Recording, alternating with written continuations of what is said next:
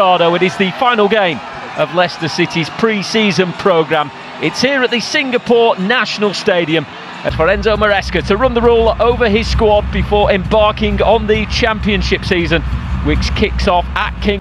Manages to get a touch to it, and that might release Kasey McAteer, who's been joined in the attack by Wilfred and Ndidi. Brilliant save, scorer in the week in the friendly against in the championship be able to cope with this. I hope not. It's a great ball by Dewsbury Hall, and it's Ndidi again breaking forward, and he's tried to square it to Albright. Virgil van Dijk, well, two chances in the space of a helped on towards Jota, and Hermansen with the save, but has only helped touch it into the path of Darwin Núñez, who from close range just steered the ball over the line to give Liverpool the lead as we approach the half-hour mark uh, that's what the big team's going You know, Obviously, a great ball by Mac Allister in behind to find Diogo Jota.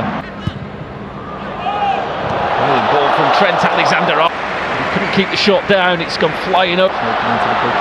Salah seen in these positions so many times, and then Clark was provided the assist from Salah and he slotted the ball into the bottom corner just out of the reach of Mads Hermansen. Liverpool have got a second goal 10 minutes before half time, and it's the youngster Bobby Clark who celebrates the second. Finding Salah.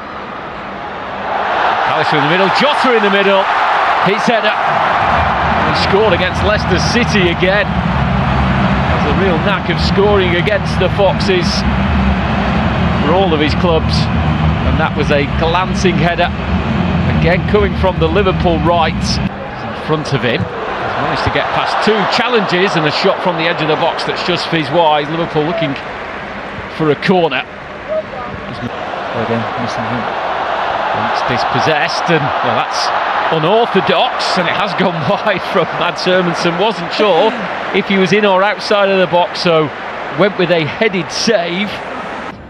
Will take.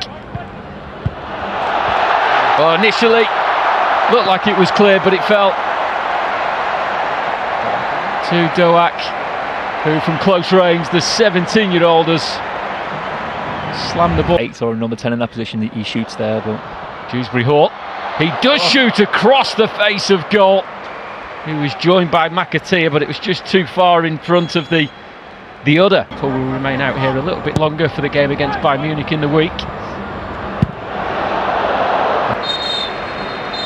And that brings an end to the contest and the end to Leicester City.